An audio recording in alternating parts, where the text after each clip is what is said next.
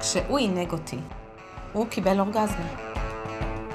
זה אם הוא גומר, וי, הצלחתי. בסוף הרגשתי שהם בסקס כדי לספק את עצמם. לגמור מאוד מאוד חזק, גבר ואישה בסיטואציה, צריך להיות סקס, כאילו ככה זה עובד, לא? לגמור כמה פעמים, לא, רק תורידי את החולצה, שיהיה לנו יותר אווירה טובה. כל העולם המיני שלי היה מבוסס על או פורנו או שפה של אלימות. מי גומרת? בסקס. מחדירה. אם את גומרת מסקס, בורכת. ופתאום משהו קורה. אני מבינה שיש אה, סקס אחר. עשינו שש שעות וחצי מהזהבה. אז זה מה שאת לובשת? וואו, מהמם. מכניסה את הבטן שלך? נו, יש לי ברירה? זה לא קל. לא. מה את אוהבת בבגדים האלה? זאת אומרת, מה זה גורם לך להרגיש כשאת לובשת אותם? קודם כל, בלי קשר למועדונים, זה בגדים שאני נורא מרגישה בהם אה, אני.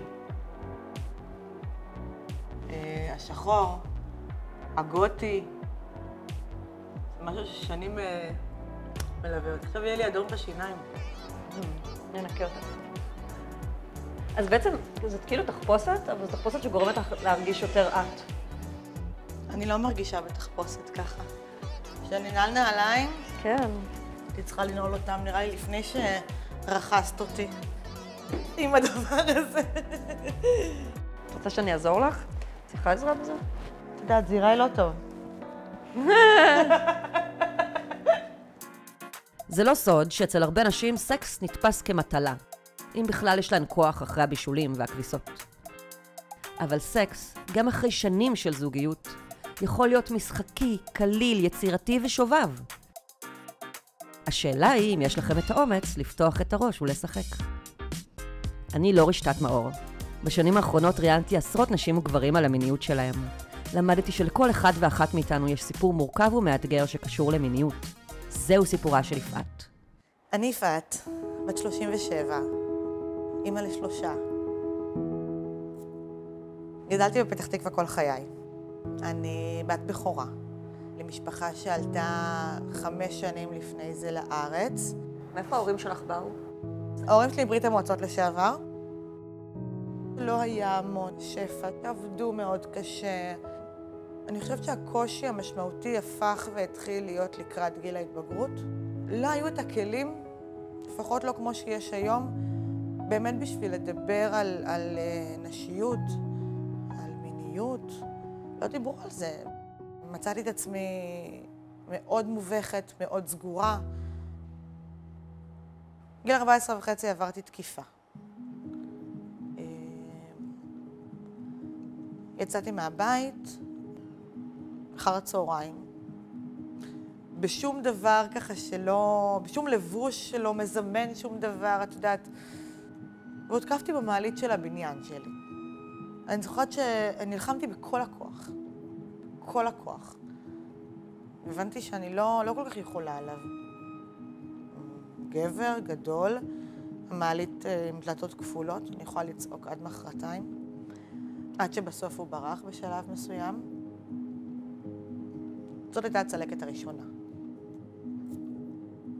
שנים אמרו לך בטלוויזיה ובכל תוכנית שראית, את בסדר, את בסדר, את לא אשמה, את לא אשמה.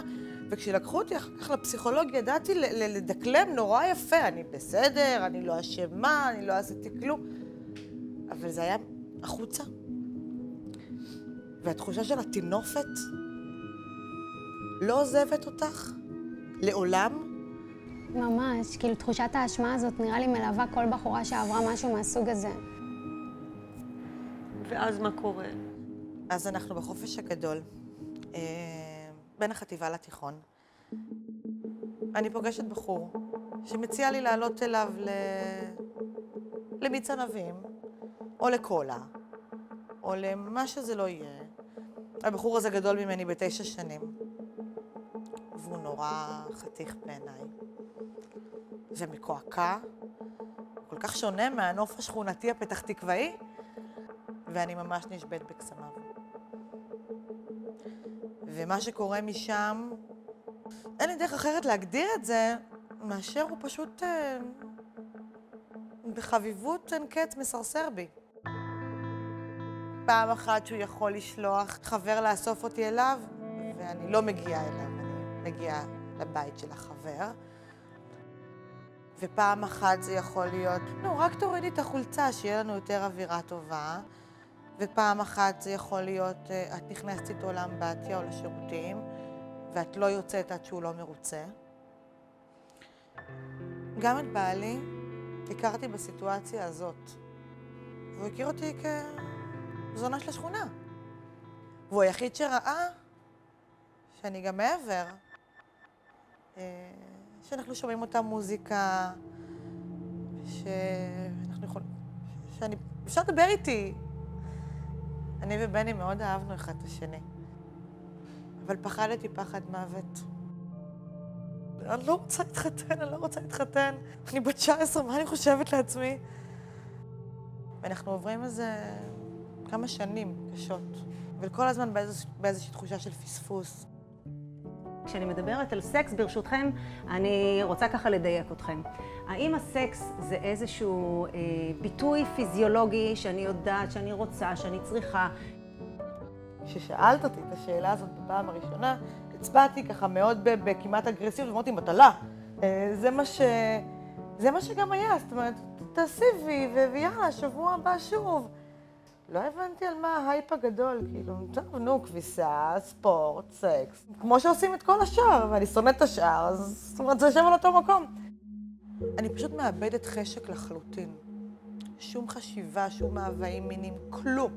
זאת אומרת, את יודעת בראש, בערך כמו שאת יודעת שבימי חמישי צריך לשטוף את הבית, ונורא לא בא לך, אז את יודעת בראש שאת זה צריך לעשות.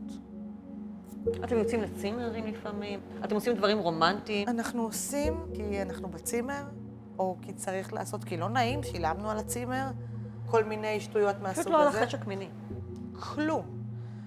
ואז אה, בני מספר לי שהוא פתח טינדר. רק פתח, עוד לא ימינה ושמאלה, רק פתח. כמה שנים את נשואה?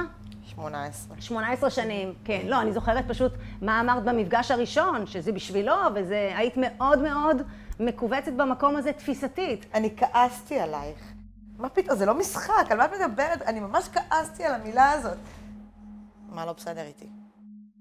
באמת, אני, אני מפרקת את הנישואים שלי לחתיכות. ביום שתלמדו לעשות אהבה עם עצמכם, אתם תראו כמה שאתם יפות, ואתם תוציאו מעצמכם את המקום, ואז אתם תעשו את, את, את כל העניין ש, של האינטראקציה המינית, לא בשביל האחר, אני רוצה להגניב את האחר, אני רוצה להיות יפה בשביל האחר, אבל אני לא בהכרח טובה לעצמי. בסוף הגענו כולנו כדי לגמור מחדירה.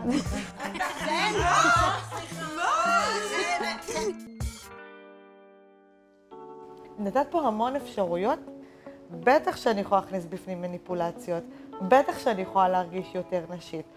בטח שאני יכולה לעשות את זה אם זו מחויבות, בטח שאני יכולה לעשות את זה אם זו מחויבות לעצמי. ופתאום משהו קורה. נפתח איזה סדק, אבל מה זה סדק? פיצי פיצי, אבל דרכו חודרת איזה קרן שמש כזאת. של עונג? עדיין לא של עונג, של הבנה. והכי חשוב, היא מלמדת אותנו לפנטז. אני מבינה שיש uh, סקס אחר. ואני צריכה ללמוד, ולבדוק, ולחפש, ולחקור. ואת משתפת את בני במסע הזה? לחלוטין. וככה באיזה שהן שיחות אנחנו מגיעים לתחום של מיניות אלטרנטיבית. משהו מתחיל לקרות. נוגעת, לא נוגעת, בודקת, לא בודקת. בעיקר מתנסה ועושה מה שמתאים לנו. יום הזוגיות שלנו במקום הכי טוב שהייתה בו, חד משמעית. ואנחנו חיים, על אמת. אם תשאלי אותי כנראה מה שלומי, אז אני אגיד לך, אני חיה את החלום. ממש ככה. בן שח ראה אותך עם הנעליים האלה? לגמרי. ומה הוא אמר? אוף, אימא. אל תגידי שלום לחברים שלי, בבקשה. שנצא? טוב, לוקחת אותי למועדון? יאללה, בואי.